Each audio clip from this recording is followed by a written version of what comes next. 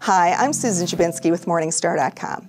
Coronavirus fears have injected much uncertainty into the market. As such, investors may be looking for ways to de risk their portfolios. Should low volatility funds be something to consider? Joining me today to discuss is Alex Bryan. Alex is Morningstar's Director of Passive Strategies in North America and editor of ETF Investor. Alex, thank you so much for joining us today. Thank you for having me. Um, now, let's step back a little bit and first talk about what are low volatility funds and what are the different strategies that these funds use. So, low volatility funds are effectively strategies that try to provide uh, investors a smoother ride than the overall market, which should translate into lower downside risk the trade off here is that you give up some of the market's upside, but over the long term, they should provide a more attractive risk reward trade off than the overall broad market. And there's a couple ways uh, that these strategies are implemented, but that's the basic idea. So uh, let's talk a little bit about the about the different strategies. Tell us a little bit about the first one and maybe a couple of ideas you like there. Yeah, so uh, the simplest approach is to basically target stocks that have exhibited low volatility in the recent past, uh, based on the assumption that stocks with low past volatility will likely continue to exhibit low risk going forward. So if you think about this, this tends to um, tilt toward stocks like utilities, consumer defensive names, uh, in some cases, uh, healthcare names. Um, these types of stocks tend to be a little bit less cyclical than most. So, in times when the economy is not doing so well, uh, they tend to have um, you know better earnings than um, the more cyclical stocks. So uh, a fund in this group that I like is Invesco S&P 500 Low Volatility ETF. The ticker is SPLV. This fund effectively um, lines up the stocks in the S&P 500 based on their volatility over the past year and targets the least volatile 100. Now, one of the um, issues with this strategy is you do tend uh, to get some very large sector concentrations from time to time. So this fund right now has a lot of exposure to utilities and to REITs.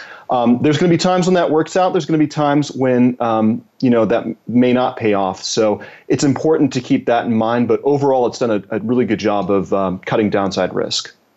And then there's a sort of another cadre, another group of low vol funds. Tell us a little bit about how they work and maybe a, a, a fund you like there.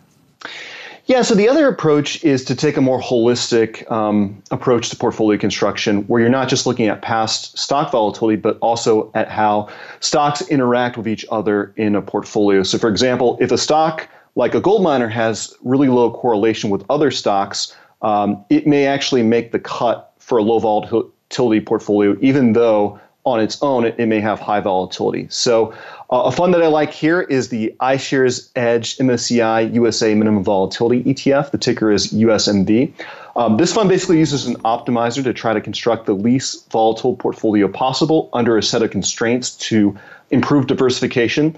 Uh, this includes limiting sector tilts relative to the market. So, what you end up with is a really well diversified portfolio that mitigates exposure to um, to sources of risk that you may not anticipate, but it also still favors those types of uh, defensive names that you get with that Invesco fund that uses a more simplistic approach. But I do like this uh, this type of strategy as a way of um, really building a, a strong core portfolio. So, sort of a million dollar question is, how did these low vol funds do last week when the S and P was down double digits?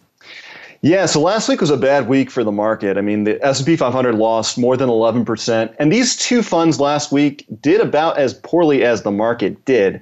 And that I think uh, brings up an important point. While these strategies have done a good job of cutting downside risk if you look at the returns over any rolling 1-year period that you want to look at, they're not always going to be down less than the market on days when the market is down. So if you have a really short-term horizon, if you're really worried about what's going to happen to the market this week or next week, you know the better solution may be just to own more cash or more bonds and, and less um, in the stock market because it's really hard to, to say whether these are going to do better or worse than the market over a very short window like that. But if you have a longer investment horizon, like let's say a year, three years, five years, I think it's a really good bet that in months when the market is down, these strategies should hold up a little bit better. So, are there any types of investors in particular who might be more or less interested in pursuing these funds a little bit or learning more about them? Yeah, I think these are really appealing strategies for risk averse investors who still want exposure to the stock market. These funds are still going to participate in the market's upside, uh, and over the long term, that's been a good place to be, but they help mitigate some of the, the volatility that you might otherwise get with a stock um, portfolio. Now, these are still stock funds. They're still 100% invested in the stock market, so these are not should not be seen as bond replacements.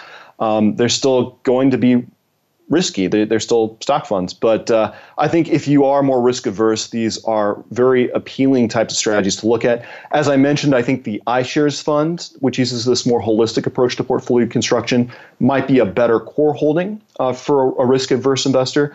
And the Invesco fund, which um, you know uses this more pure uh, approach of just targeting stocks with low volatility that might be a better satellite holding for someone who just wants to tilt their portfolio a little bit toward defensive stocks because um, while it is more style pure than the iShares fund, it does have those sector risks that come into play. So if you're going to own that fund, it's better to keep that a small portion of your overall portfolio. Alex, I want to thank you again for your time today. Great information. Thank you for having me. I'm Susan Dziubinski from Morningstar.com. Thank you for tuning in.